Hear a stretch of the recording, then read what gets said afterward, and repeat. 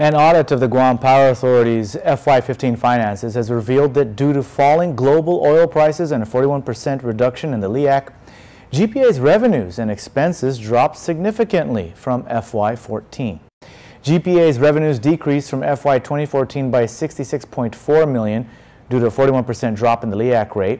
On the bright side, GPA's cost of fuel and production also dropped significantly by almost the same amount, 66.3 million.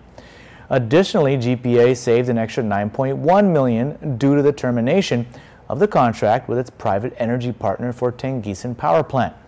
Some of GPA's biggest projects in 2015 included replacing the smokestack on the now defunct Cabras 3 and 4 power plants at $3.4 million and the construction of the Gloria B. Nelson building at $34.5 million.